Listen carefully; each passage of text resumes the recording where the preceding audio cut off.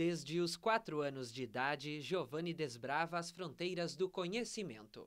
Se existiam algumas barreiras para impedir a inserção do aluno nos territórios da educação, elas foram totalmente quebradas pelo empenho dele e pelo trabalho realizado pela Escola Especial para Surdos Frei Pacífico. Entrou com quatro anos na escola, começou com contato com surdo, gostou da interação, começou a desenhar gosta de muitas coisas. Gostou, começou no início a brincar, gosta do intervalo, da troca que tem no intervalo. Elizabeth, de 15 anos, não quer parar por aqui.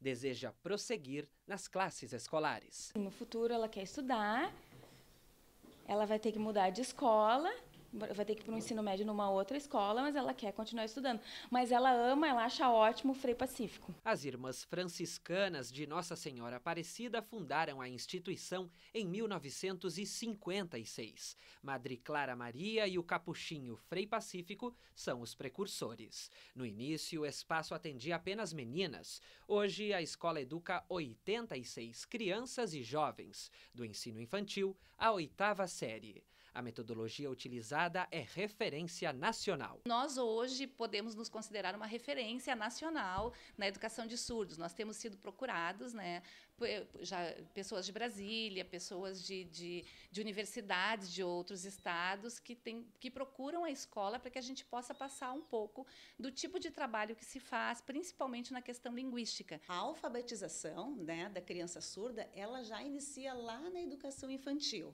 De que forma? Onde professor vai trabalhar assuntos, temas, textos com os alunos. Então, o português escrito ele é muito, ele é muito trabalhado dentro da escola, né? E buscando essa referência visual que o surdo tanto precisa. Então, muitas gravuras, muitos vídeos, né? Muito trabalho de, onde a criança tem que experimentar para poder ter esse domínio do conceito. Para realizar a manutenção, o Colégio Frei Pacífico necessita de doações ações e também convênios com governos. Nós, nós temos a mantenedora, né, em primeiro lugar, que, nos, que, que dá o suporte principal financeiro para a manutenção da escola. Também recebemos subvenções públicas né, com, os, com os diversos poderes, né, municipal, federal, estadual. Recebemos, temos um, um projeto junto com o Fun Criança, né, que é, é, recebemos recursos através de doações, de destinação é, do, do imposto de renda. Em 2016, o Frei Pacífico completa 60 anos de inclusão e solidariedade.